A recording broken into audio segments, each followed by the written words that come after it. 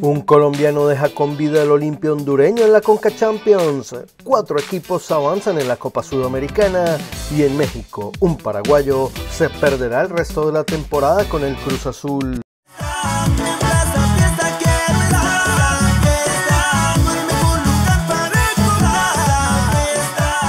Siempre encontrarás un motivo para visitar Plaza Fiesta, el rinconcito de nuestro pueblo.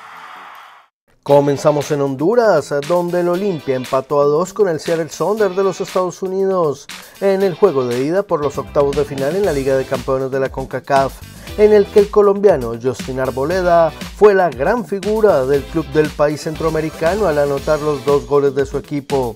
Otro que brilló, pero con un hat-trick, fue el delantero brasileño Heber del New York City de la MLS, que guió a su equipo a un triunfo por 3 a 5 como visitante ante el combativo San Carlos costarricense, lo que deja al conjunto estadounidense con un pie en la siguiente fase de la Liga de Campeones.